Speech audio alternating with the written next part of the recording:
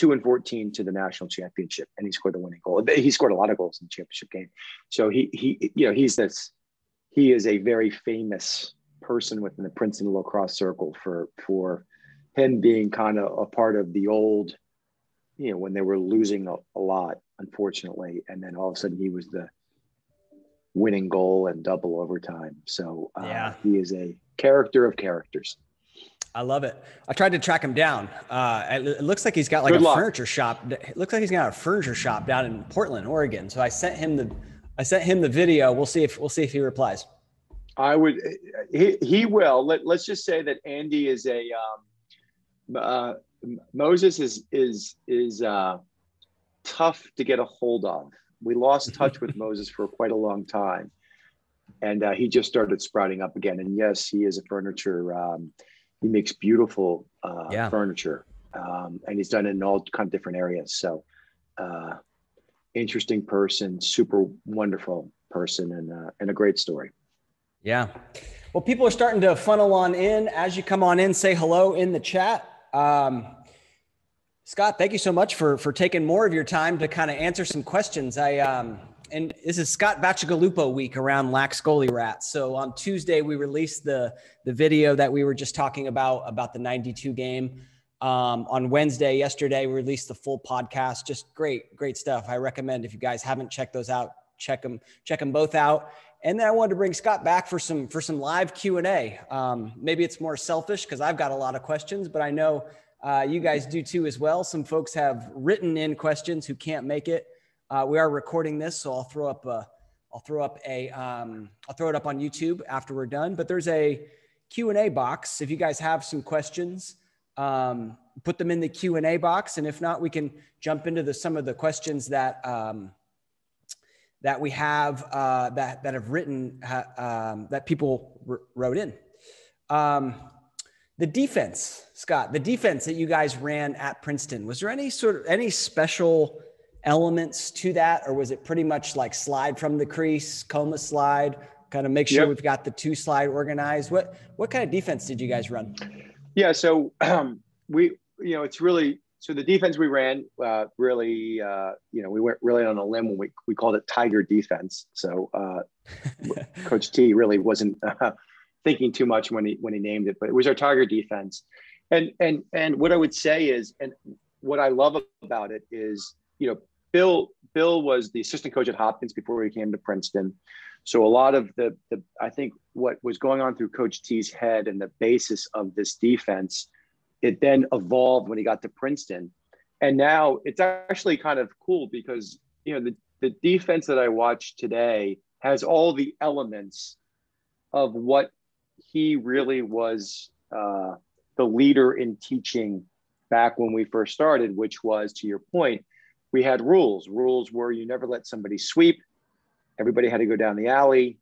We slid from the crease uh, up front. And then when attackman dodged from behind, uh, you know, the defenseman would turn them inside. And as you said, the coma come across was the slide. And then you had the backside slide. Um, and then there was always some, and then, so that was the, that's the classic Tiger defense that we played and then the nuances became um, you know you push out adjacent to, to make it a little bit harder for them to pass the ball around uh, mm-hmm. knowing that we were sliding from the crease we were always pinching from behind. Um, you know and, and, what what the evolution was uh, going back was you know the slide packages before coach tierney really I, I think really developed this was we always slid adjacent right? That that that was the slide package was adjacent and then this whole sliding from the crease became you know the the Hopkins way, but but Coach Tierney coming to Princeton and making it the Princeton way, and so the, the slide across uh, from the from the crease up top, and then the come across below as you turn the attackman into into you became very much the staple. And even today, I watch a lot of you know games. We were just talking about it, and those are they seemingly are still the rules by which defenses play by um, with a lot of nuances and and deviations they've had. But it seems to be that that's lasted the the test of time for the for the time being. But it was called it was called Tiger Lacrosse. I love it. I love it. Yeah, yeah it, it, like even if you play pickup with like random random defensemen and middies, you know, like that's kind of like the the default nowadays. Is like we slide from the crease and then uh, and then the coma slide. So the tiger. Correct. It was called the tiger. it was Tiger D back then for us, but I'm sure everyone's got tiger their own D. names. That's yeah. nice. Um, Haley asked a question Was there ever a time you wanted to stop playing or you got really discouraged? Uh, well, geez, great, great, great question. Uh, discouraged, yes. I mean, Damon, you and I both know as a goalie, um, you get you can be discouraged a lot, and I think we talked a little bit about the um, you know the emotions that you have to live with as a goalie in lacrosse right? You have highs and you have some low moments. And um and so to haley yes there's many times you we i was discouraged. There was many times that i was upset with how i was playing. There's many times as a goalie where you would lose a game and and you you blame yourself as a goalie because you were the last line of defense and so it's always upsetting when you let those goals in. And and you have to and you have to you know bounce back from all of those things. I, I will point you to a time my sophomore year in in college at princeton um, you know we we had come we'd lost in the quarterfinals in this famous game against towson state where we lost in triple overtime.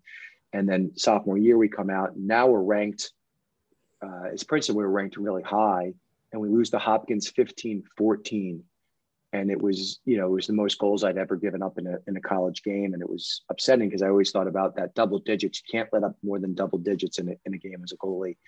We lost 15-14, and it was a terrible game. I was I was really upset, and um, we played another game against UVA, and we, and we won. And then we went down to North Carolina, and we lost to North Carolina, and and and we were ahead, and we lost in the fourth quarter. And I I gave up a couple goals in the in the fourth quarter. We ended up losing. So here we are. We we thought we were we were hot stuff, and being ranked in the top whatever we were, top five, top ten, and we were one and two, and I was super discouraged by the beginning of the season, um, and so. Um, and then we went to the Ivy leagues and we ended up doing quite well. But yeah, we're goalies are always discouraged, right? I mean, we're, we're always having our ruts, and the question is, how do you get out of those ruts? Do you practice harder? what do you do? Um, and and how do you react when you have a bad game and you have another bad game?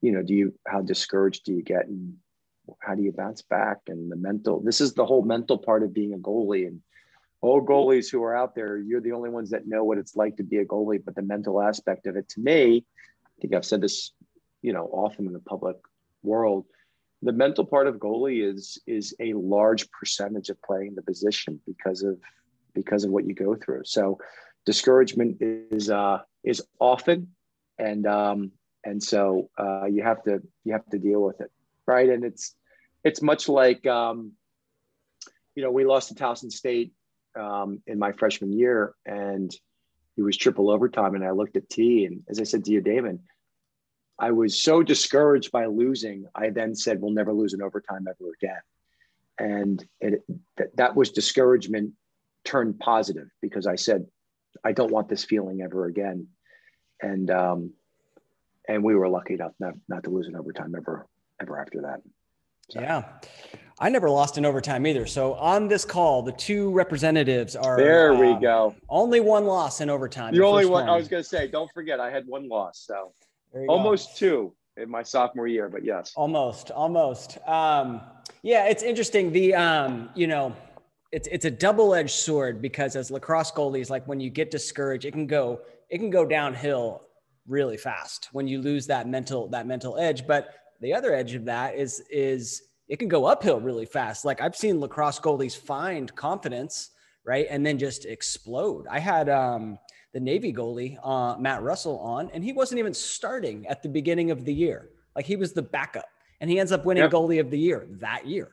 Right. So, like, yep. once you find your confidence, you can really explode. I think more so than any other position, like not attack, not D, not middies. Like goalies can really, once they get that confidence, it can. Really, I agree. I mean, Matt, Matty Russell, what what a what a what a wonderful goalie, and he what a great career at the Naval Academy.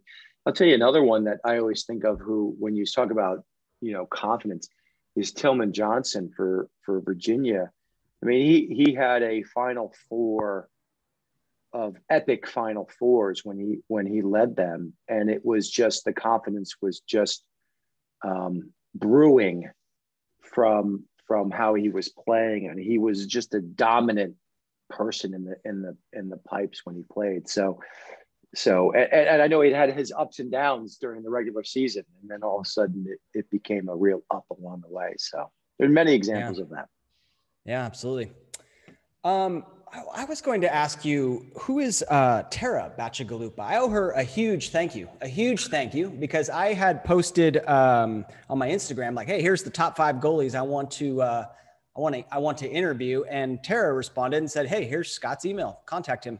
I'm like, "Great."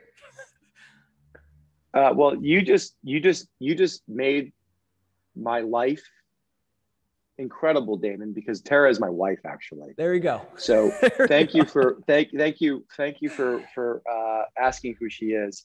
She's my wife, um, and um, and so anyway, she was uh, kind enough to respond, and I I, I feel terrible because I know you had sent some emails along the way, and um, uh, anyway. Uh, Oh, no worries. We made it happen. Wife. We yes. made it happen. That's the important yes. thing. And sometimes yes uh, the good the good things are worth waiting. I got another little funny story. So I I tell my wife, uh, hey, I, am interviewing Scott Bacigalupo, and she's she's from Argentina, right? So she she barely knows anything about lacrosse, let alone a goalie from the '90s.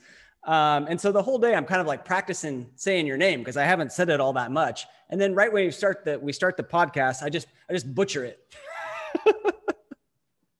uh, but put it this way Damon, you're in good hands because I've told many, many of people uh, when I was a freshman at Princeton, you know, they would announce the starting lineups yeah. and it was awesome. So I'd, you know, it'd be like Princeton versus Brown. And they'd be like, okay, starting lineups, attack, midfield, defenders, and in goal, number 10, Scott. And it was always, you know, the announcers are usually some college student who's doing the announcing and, and learning. It's Scott, Bag, the and I would be like, oh man, like that sucks. And then like as I got older, sophomore, junior, people started figuring it out. So by my senior year, it was like, you know, it was like the people are like, it's Scott Bacigalupo. And I was like, oh, they're finally getting to the whole thing. So yeah. you you did a great job. You you, you, got there it. You got it early, so you don't have to worry about it. Yeah, you've recovered. Um, one, uh, see, the name didn't come through, but she says, "How do you get over the fear of getting hurt?" Which is an interesting question because I, um, I wouldn't say I ever had that fear. Did, did you? Did you ever? Have, did you ever have any sort of, you know, fear of getting hurt when you were playing? I never had a fear of getting hurt, and I know Damon, you and I talked about, you know, on the original uh, p- podcast about goalies in general. So no, I never had a fear of getting hurt.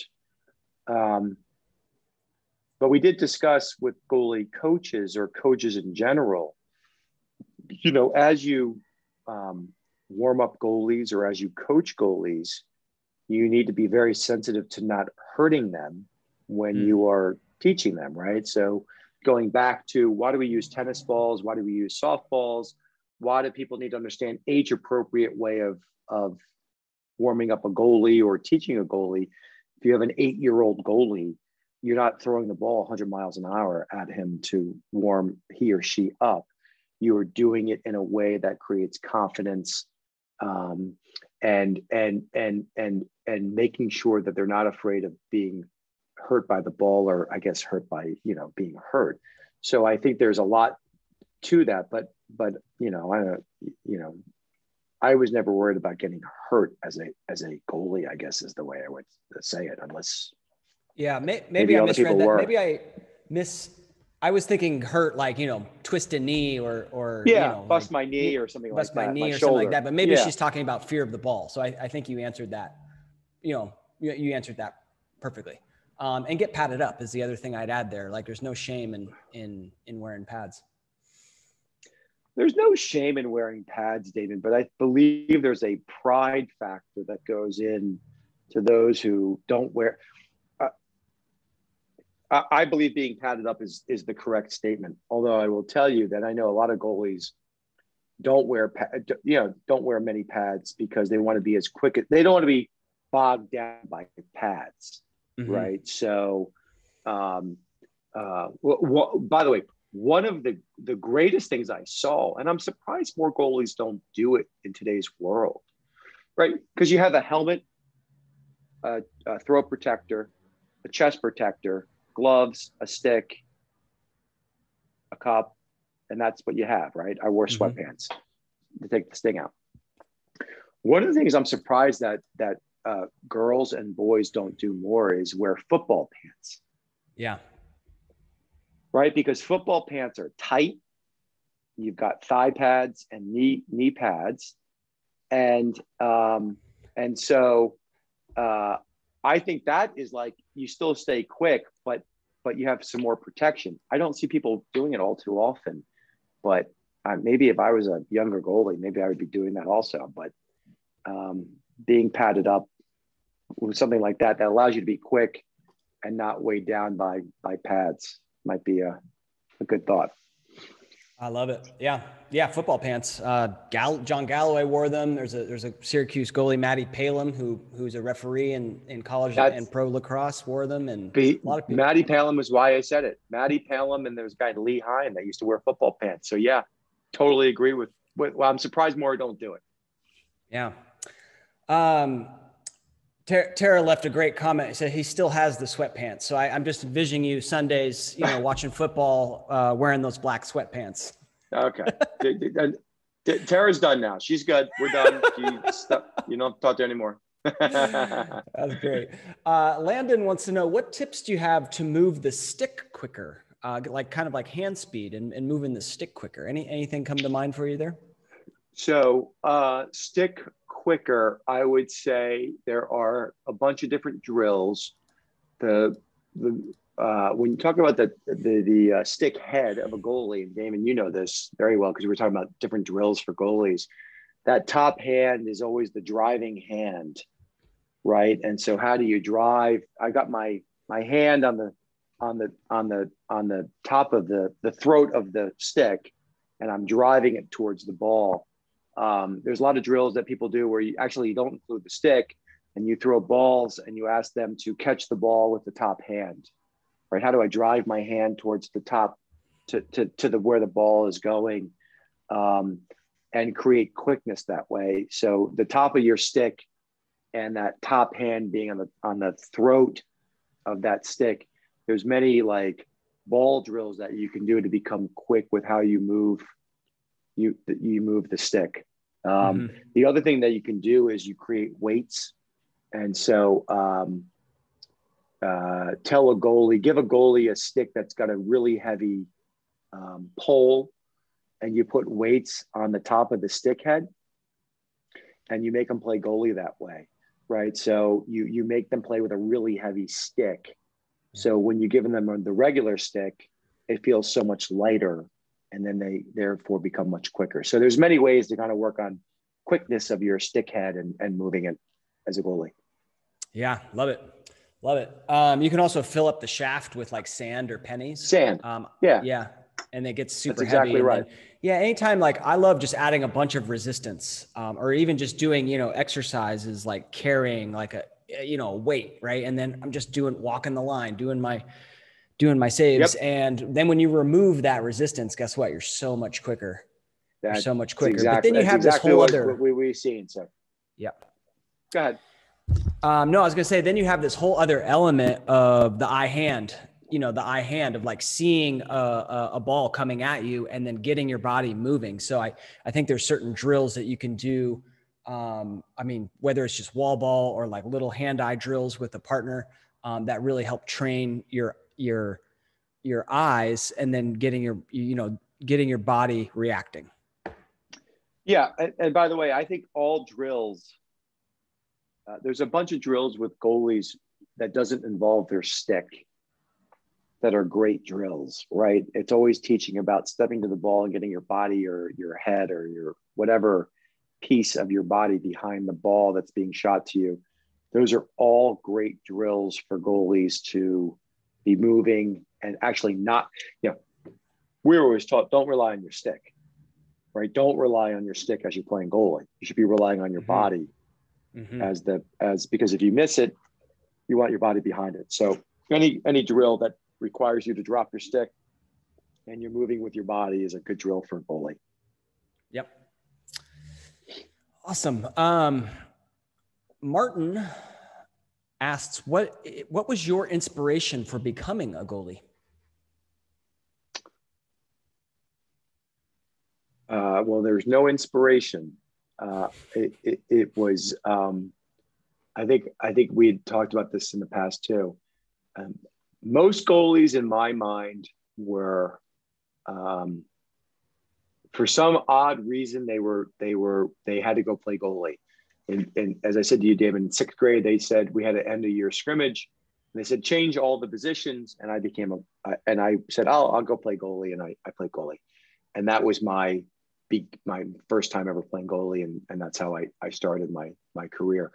So I don't think I had inspiration, although I will tell you um, there are several goalies that are out there that were certainly inspirational when I became a goalie. For I think for all goalies, right? And so when I was growing up, it was a lot of the St. Paul's um, boys who were who were goalies, like a Peter Sheehan, a Les Matthews, and, and, others, and then and then, you know, when I was kind of early in my high school career, Larry Quinn was at Hopkins, who I used to watch a lot as a kid, you know, going to the Hopkins games um, at, in Baltimore.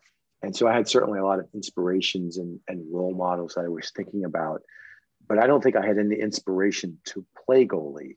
It just happened to come about. Awesome. Awesome. Uh, the dog wants to wants to come on in for some, some nice. um, we love it. So we heard, uh, you know, in the in the video we that I on I released on Tuesday, we sort of hear the story of the '92 game. Uh, in the podcast, you told the story of Coach Tierney, uh, you know, going for the walk at the at the 205 camp and him yep. contemplating losing. Connor wanted to know. We want to hear some more Coach Tierney stories. Uh, does that does any little story come to mind? Just I don't know, some oddities or funny things that he used to do at practice, or I, I don't know, anything come to mind for you? Um, I I have I have too many Coach Tierney stories. Um, that that is a uh, that is a ten hour podcast that Damon you would have to do about stories with with Coach Tierney and stories between him and and our coaching our coaching staff. Um, Coach T, uh, I, I, I don't have any stories about Coach T. Coach T was an incredible coach. He was an incredible um, uh, driver of excellence. He created a tremendous amount of confidence and a, and a, an unbelievable environment um, at Princeton. And, and what I would say is that um, he was such a supporter of all of us while while we were there and and and in essence he really became you know for me for coach Tierney to me was uh, he recruited me he was my head coach. He became a mentor. And then and then the evolution was he just became a friend mm. right? And so that's kind of the, the life cycle of how i think about coach t is is, is is that. And and and every phase was a little bit different right? He he treated me differently during those phases. And um as i had to treat him differently um uh but but but he a, a fiery coach right? We all know his antics on the sidelines. Um um you know really knew how to press people's buttons to get the best out of them along the way, um, respectful of all of us when we played for him, um, and and um, more more importantly, um, was was completely thoughtful towards there's more to lacrosse. There, there's more to life than just lacrosse and so for Princeton men's lacrosse, he always knew that there was something else that we right? No, no one plays pro lacrosse, and so he always knew there was something else for all of us, and um, and so he always understood that there was a higher calling for us than just lacrosse, and so um, uh, lots of stories um, that can't be shared or repeated, but we'll keep them in the inner sanctum of of my head. I love it. I love it. Um, I'm going to try and get him after the this lacrosse season this summer. I'm I'm going to try and get him on the podcast. Um, All right. I, it'd be it'd be amazing. To, I mean, even though he's you know not a goalie, just just to pick his brain on on lacrosse, I'm sure you could agree that it'd be a wonderful conversation. Bill Tierney is is the greatest lacrosse coach in the history of lacrosse. I'll help you, Damon, try to get that done. so I will make a personal plea with him if I if if that works for you. And um, he actually, funny enough, um, even though he's not a, a goalie coach, uh, Bill Tierney is one of the best goalie coaches out there.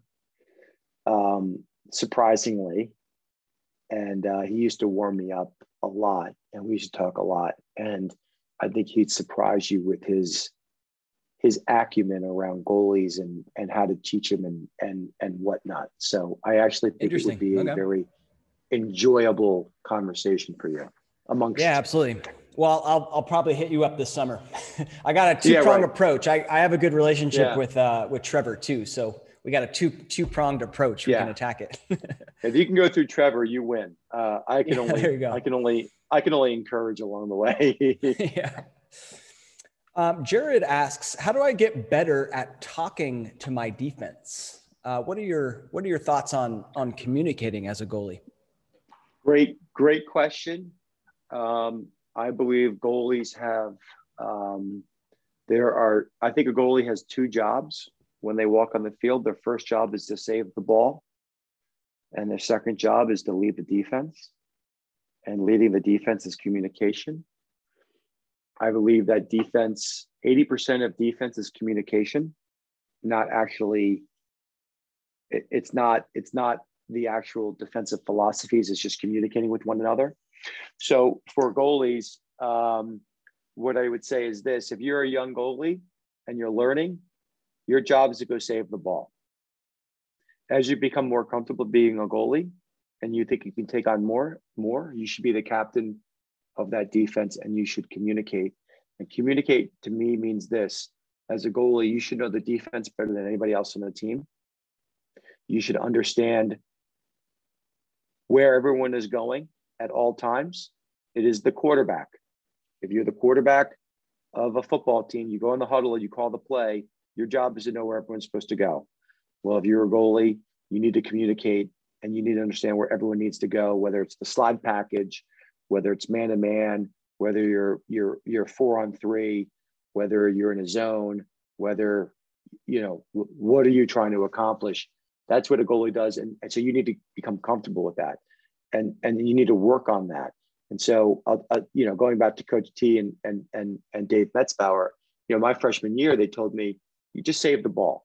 It's all you need to go is go save the ball, and um, and then as I got older and I got I started understanding the defense, they said, okay, your job is to go lead the defense while saving the ball, and my communication uh, of, doing that. So so it doesn't happen overnight. You need to be a student of your defense and the philosophies, um, but don't don't ever forget your number one job is to save the ball, and then and then you kind of go from there when you think about communicating with the defense and and how you're going to effectively communicate. Save it. I get comfortable I've gotten a little bit older, a little wiser, and now I can communicate and lead the defense along the way. Yeah, love it.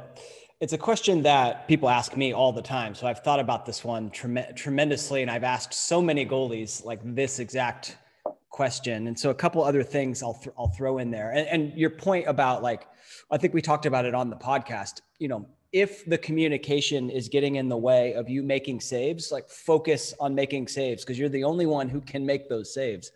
Um, yep. Other other people on your team can um, can uh, help with the communication. Uh, one thing, you know, how do I get better talking to my defense? Um, use names. Use names. You know, people respond to their names And like you said, Batch, you know, you know the defense better than anyone. So you would never say like who's hot, who's number one.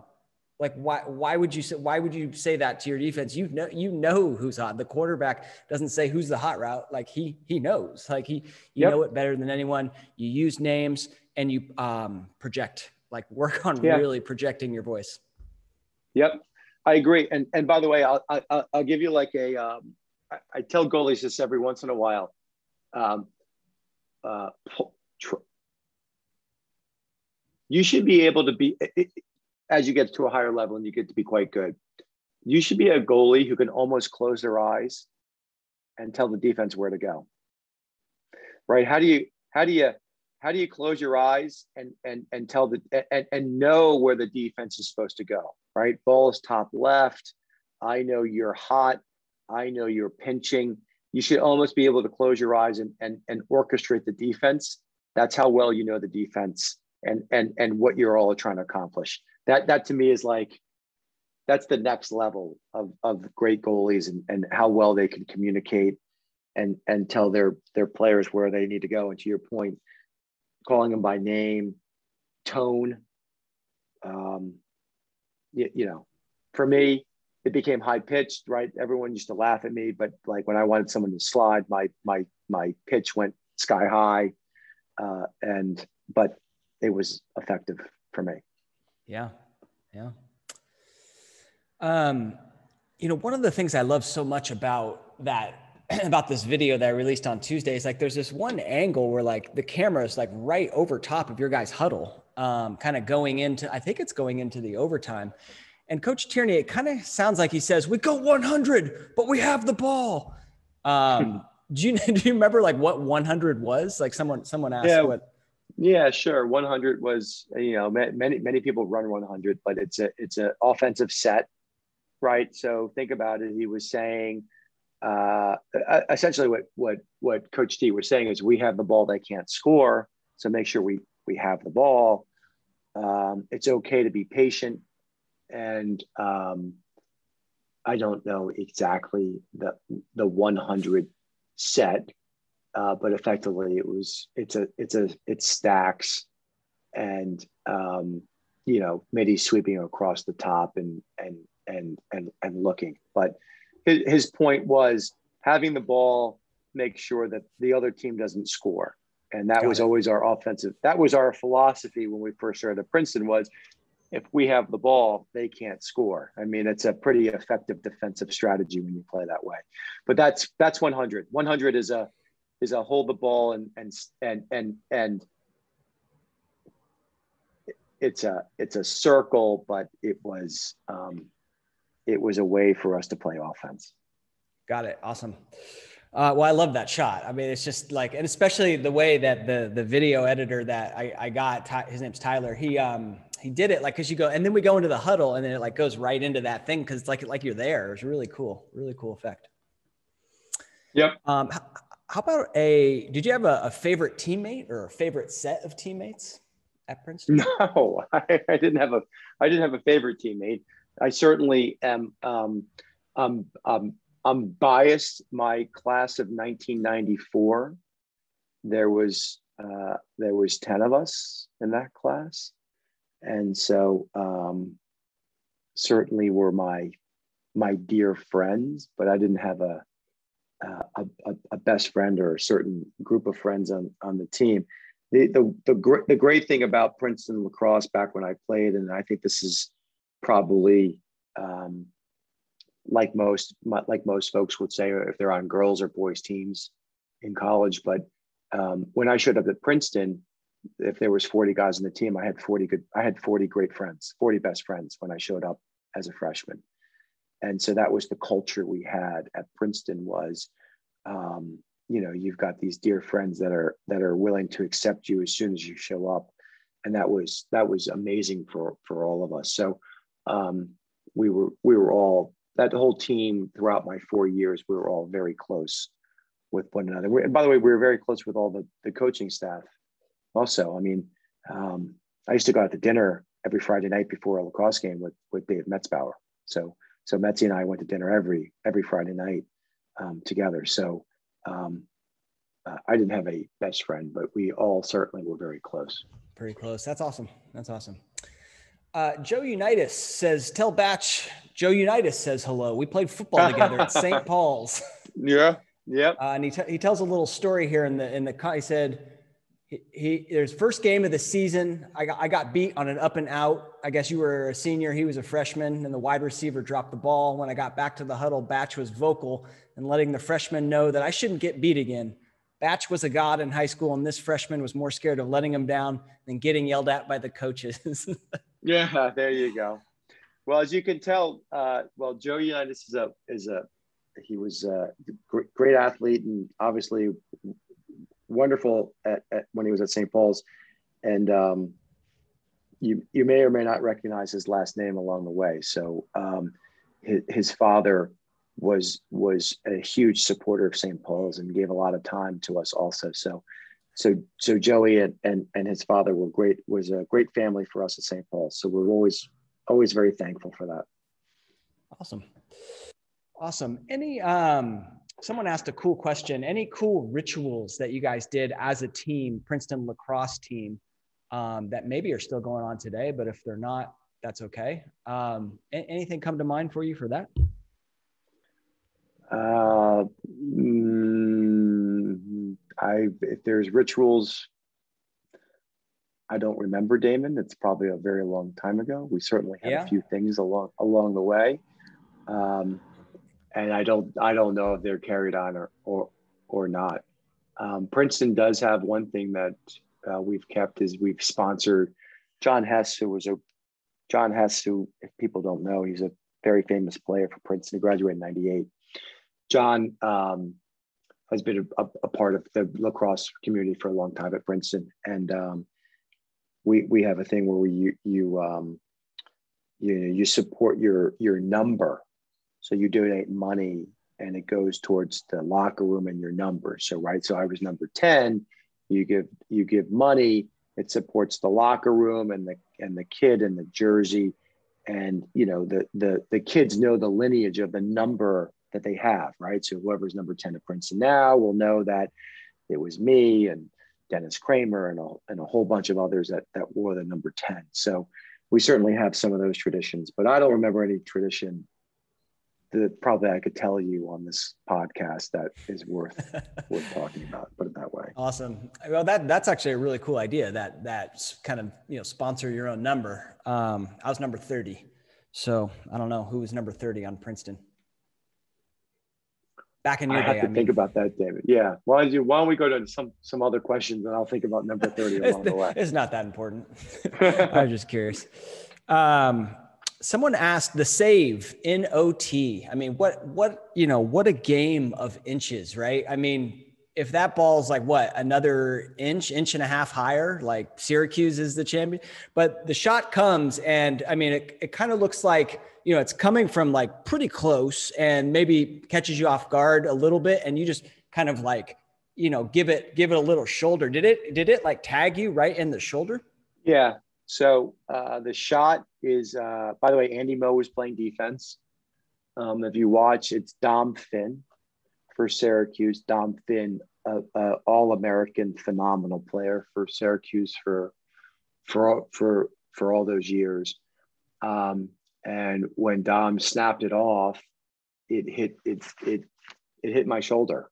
I kind of did a shrug, mm-hmm. and we could all debate. You know, as Damon, as you know, we can all debate whether I um, put myself in that position to make the save or whether that was Dom hitting me in the shoulder. Um, but one of the ways, w- w- one way or the other, it, it hit my shoulder and shot. If you see it, shot off to the right and went out of bounds. You know, goal line extended from there.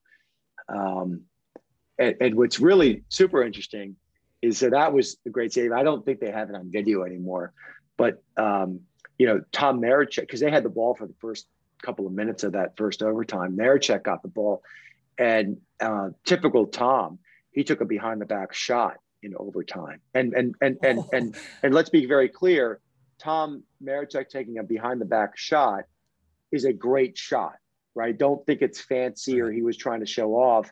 For Tom, behind the back was like his left hand. Like so it was a great shot. and uh, it hit my toe. And then after it hit my toe, it hit the pipe, and it went out of bounds. And and they and they picked up from there.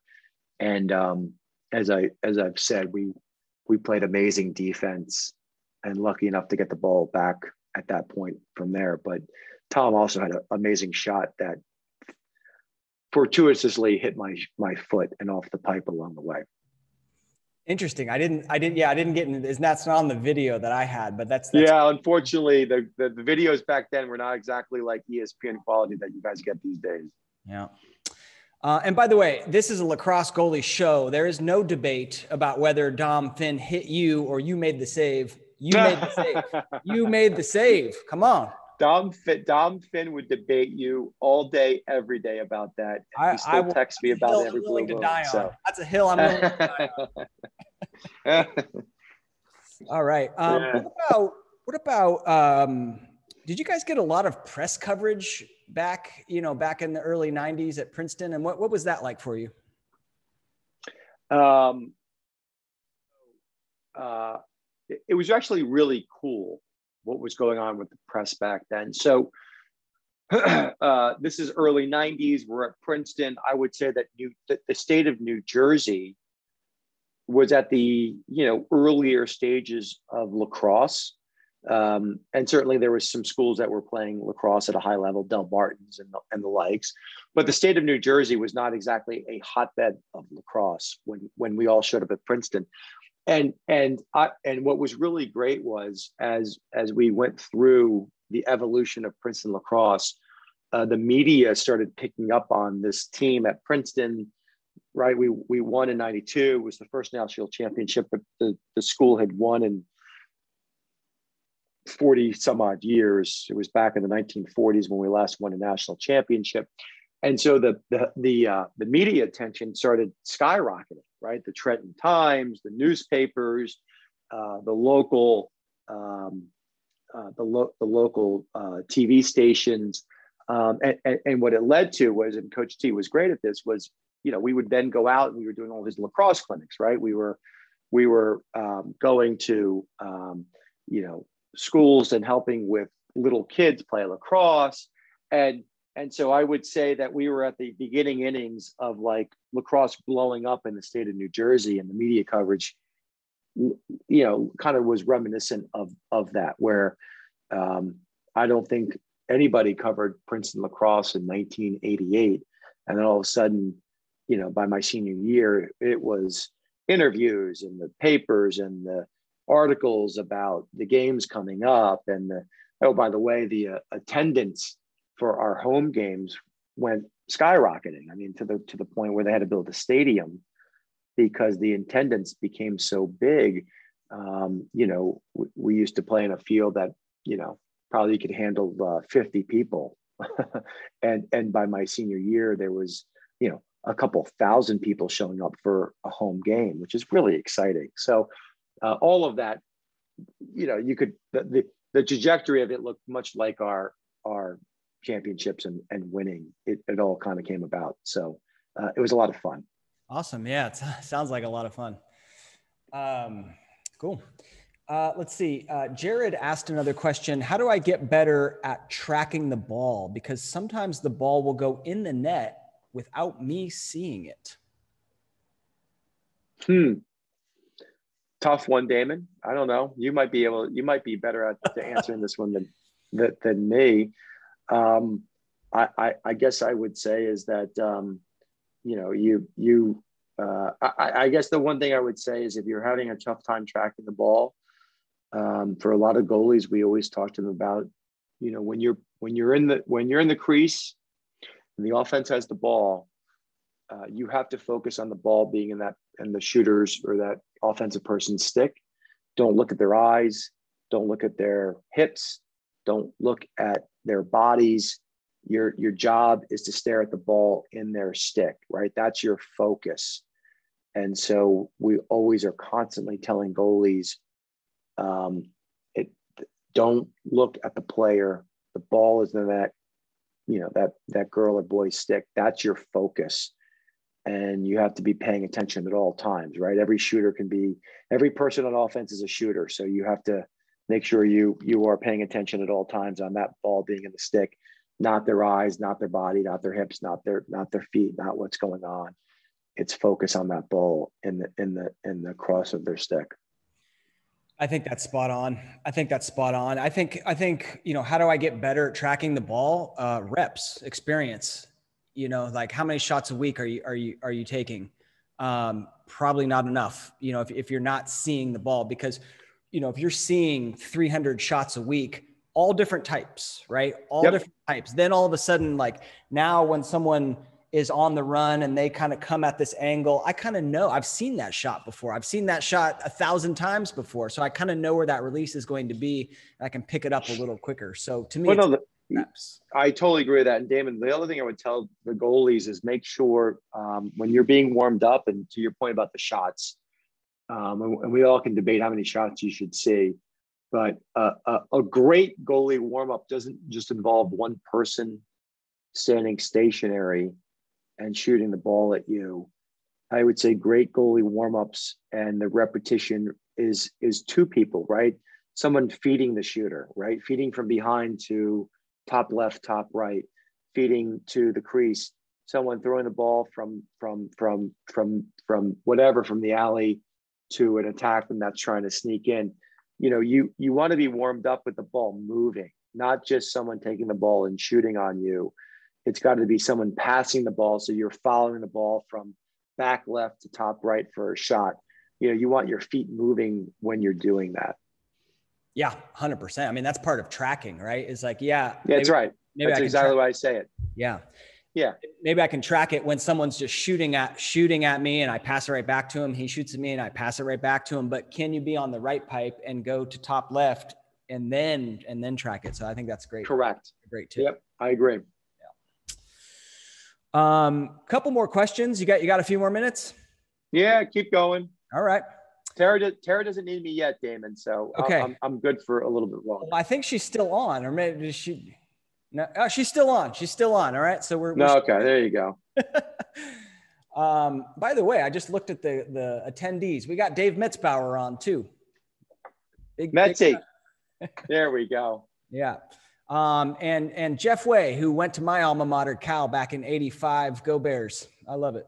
There you go. Good. Um, uh, the question is, you know, how do you see the game being different? How has it changed? Um, maybe for the bet, maybe for better, maybe for worse. Like what? What is your what is your thoughts on that one? It's kind of a big, broad, open question, but I'm curious. Yeah, couple couple thoughts. I think that so high level. I think the game has has has evolved for the better. I think the game is more exciting today than it's ever been. Um, I think there are better athletes playing the game of lacrosse today than they were back when I was playing, men and women. Um, I think the equipment's better. I do think the sticks for for for the people on the field are better better than ever and I, therefore I think it's made it harder on goalies in general. Uh, I think kids can shoot the ball harder and from different angles based on the sticks that they have today than they did probably back when I was playing. Um, I love the growth in the game. When I played, it was regional still. It was it was regional starting to go national, right? So Baltimore, Long Island, upstate, and and Denver and some other hotbeds were were kind of the place where lacrosse was done, and that's where a lot of the recruits came from. Massachusetts and others, and and today's world, it's a national sport. I love hearing kids from California and Florida and and and and Oregon and um, all uh, you know Texas those were not states that were the hotbeds. And so I think it's a national sport, and that means it's a broader sport, and that means it's a great game, and and and the and the sport is growing. I think all of those things are super positive, and I'm thrilled, uh, you know, to be a part of kind of the older world, and I and I love every bit of what's happened to the game of the game of lacrosse to, in in today's world. Um, and and and even more international now than it, than it ever was, right? So, you know, when they play the world world games and the countries that are playing, there's more countries playing now than ever. And I'd be the first one to raise my hand that hopes that lacrosse for both women and men become a Olympic sport. I think that would be just amazing. Lacrosse used to be Olympic sport. I don't know if many people know that, but back in the yeah. 20s and 30s, it was an Olympic sport. Um, and then obviously not enough people played it. So I'd love to see the game of lacrosse become an Olympic sport at some point because that means internationally it has grown um, along the way. Love it. Love it. Speaking of equipment, this um Scott, this right here is the STX Eclipse 2, and it has something called a pocket, a pocket, yeah. which your which your stick really, really did not have. And you realize if you had no. one of these, you might not have committed that that error. Because I think I think the pockets they put in these sticks these days are yeah. beautiful. Damon, I'm going to start going with that now. I'm just going to blame that last play in the 92 in the in the 92 on my stick. Not me. It wasn't me anymore. Right. It was my stick. Right, right. And um, I'll blame Metzi too if he's still listening because he used to string my stick. So I'll blame him for doing that to me then, right? Oh, if I can ever pass the buck on that, I will. I love it. Well, Scott, thanks so much for taking the time to answer everyone's questions. I think I think we got them all. Um, if you guys got some other last minute questions, let me know. Um, otherwise, I will say thanks again for for telling that story. Um, I think I think it's an amazing story. I'm going to do my darndest to get it out there. Um, I'm going to try and interview some other folks who were involved and kind of build. I really think this is amazing. So uh, we yeah, may be talking great. shortly in the future. Oh, great. Well, well, Damon, um, thank you so much. I'm glad you reached out. Um, it's nice to have an old guy, I guess, talk a little bit. So I'm the older guy, but anyway, you do a great job, and and um, you know, goalies goalies are a special breed, and um, you and I both agree it's the it's the most important uh, position on the field, and and special people have to become goalies in lacrosse, and so um, for any goalie um, that's out there, you, you, know you're special, and you're the focus point uh, of that team, and um, and you should feel great about playing that position because it's the toughest position on the field, and um, I'm biased, you're biased, but for the goalie community, we're all in it together. And uh, and so I respect anybody that wants to play goalie as, as a, in, in the game of lacrosse. I love it. Scott, thank you so much. Thanks a lot, everyone, for attending. We will see you soon. Have a great evening. Be well. Take care. Thanks, Damon. Yep. Thank you.